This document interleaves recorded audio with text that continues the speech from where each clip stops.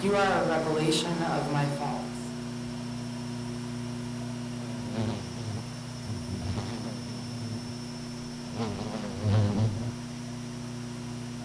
Perhaps if these imperfections were just copied exactly from my being to yours, this would have gone unnoticed by both of us. Instead, it was twofold, and in your creations it quadrupled. Your psyche is a disclosure that I unwittingly put into motion. Thus, all that you think or do is merely a regurgitation of my defective traits.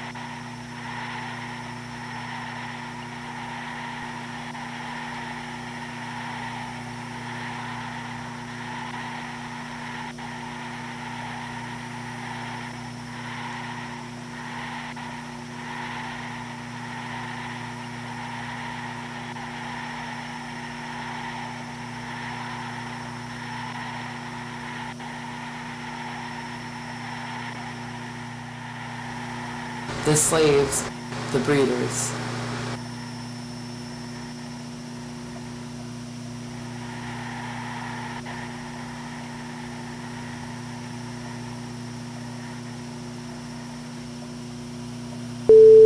You strive for total satisfaction. Creating holes with each of your deeds. Harvesting the fruit for sustenance, the branches for fuel, the trunk for shelter, and the roots left uselessly feeding the stalk.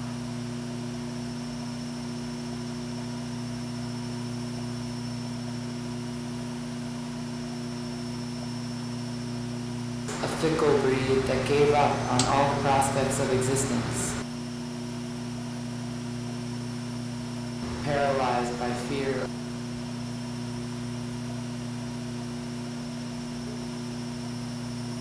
coddle themselves, lick their wounds and wait for bondage to carry them back under the wheel of history.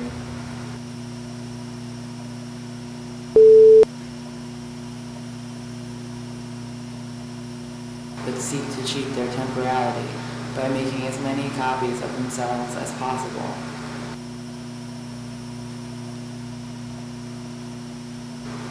It is difficult to distract them from copulation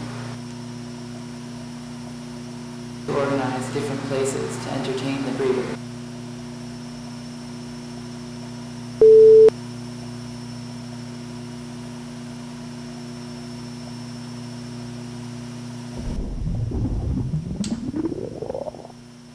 You see, if the thinkers did not exist, the breeders would very quickly overpopulate the space allotted for their existence. The thinkers cannot copulate as easily, so they cannot try to cheat by the same measures.